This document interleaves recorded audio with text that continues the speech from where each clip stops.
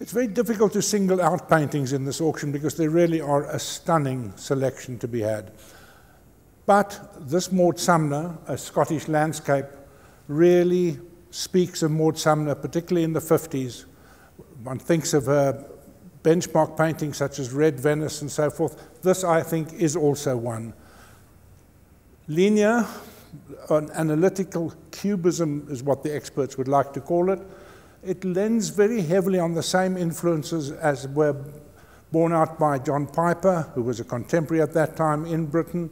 A superb example, lovely planes of color, lovely line, and I don't believe you can do better.